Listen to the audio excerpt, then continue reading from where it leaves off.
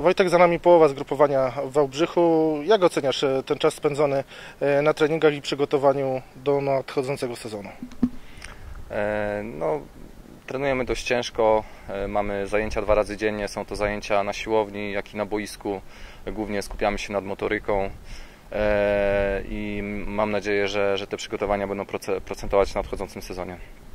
Okres e, między jednym a drugim sezonem był bardzo krótki, stąd też e, wy mieliście e, mniej czasu na urlop. Powiedz, e, jak e, wykorzystałeś właśnie te kilka dni wolnego? E, Na pewno na odpoczynek, dlatego że mm, ten sezon był, poprzedni sezon był bardzo ciężki, przedłużony. E, Mieliśmy na pewno em, krótszy ten okres e, urlopowy, e, także starałem się zrobić wszystko, żeby, żeby jak najlepiej wypocząć, e, powyleczać jakieś tam swoje mm, urazy i, i miejmy nadzieję, że, e, że udało się tam na tyle odpocząć, żeby w przyszłym sezonie od początku walczyć o, o trzy punkty w każdym meczu. Właśnie wspomniałeś o tych e, drobnych urazach. My wiemy, że rozpocząłeś przygotowania do nadchodzącego e, sezonu troszkę później. Opowiedz e, dlaczego. E, W końcówce poprzedniego sezonu miałem e, dość duże problemy z Achillesem, e, także starałem się zrobić wszystko, żeby, żeby te, te, te moje urazy jakoś tam powyleczać i e, no, może nie jest jeszcze idealnie, ale, ale pracujemy cały czas ze sztabem medycznym, żeby, e, żeby wrócić do, do pełnej dyspozycji.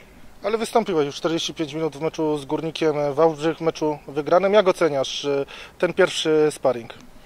E, No, wiadomo, że te pierwsze sparingi e, są dość trudne do oceny, bo jest wielu nowych zawodników. e, Nasza forma jest na trochę innym poziomie. Te nogi są bardzo ciężkie, ale do tych meczy naprawdę też trzeba się bardzo mocno przykładać i wyciągać z nich jak najlepsze wnioski. Także ciężko, mówię, ciężko, ciężko tutaj oceniać. Cieszy, cieszymy się z wygranej i, i widać, że nowi, nowi koledzy też jakby do drużyny wchodzą e, dość dobrze. Znajdujemy się w ośrodku Aqua Zdrój w Wałbrzychu. Mm, Jak oceniasz warunki tutaj panujące, bo macie do dyspozycji i saunę, i siłownię, i basen, i boiska, także chyba tutaj na warunki nie można narzekać. No zazwyczaj na obozach e, ten czas leci e, bardzo długo i e, te dni się dłużą. E, Człowiek jak najszybciej chce wracać do domu, a przyznam szczerze, że, że tutaj jest, jest troszeczkę inaczej. E, Dni mijają szybko, mamy, mamy do dyspozycji naprawdę bardzo, bardzo fajne warunki. E, Codziennie możemy korzystać z odnowy biologicznej, z saun, z basenów, także naprawdę jest bardzo fajnie i bardzo fajnie, że powstają takie ośrodki do, do obozów. To jeszcze na koniec pytanie z troszkę innej beczki, bo wiem, że wczoraj oglądałeś półfinał Agnieszka Radwańska, z udziałem Agnieszki Radwańskiej. Agnieszka przegrała. Twoja ocena tego, e, dlaczego tak się stało?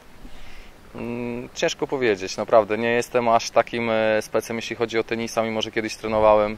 E, To mm, no, było, było nam na pewno przykro w pokoju i tutaj na zgrupowaniu. No, liczyliśmy na to, że, że uda się Polsce awansować do finału. Myślę, że e, tak jak zawsze, no, mm, Agnieszka ma ten problem, że, e, że przegrywa większość meczy fizycznie, że te mm, rywalki mm, taktycznie są tak przygotowane, że cały czas e, spychają ją do defensywy i no jest jej ciężko. Zadałem to pytanie troszkę tak, e, żeby rozwinąć jeszcze jeden wątek. e, Wątek e, tego, jak spędzacie wolny czas. No bo wiemy, że wczoraj był ten mecz półfinałowy i, i większość z Was oglądała. Dzisiaj prawdopodobnie, jeżeli czas na to pozwoli, obejrzycie Super Puchar Polski. A tak poza tym, co tutaj robicie w wolnym czasie?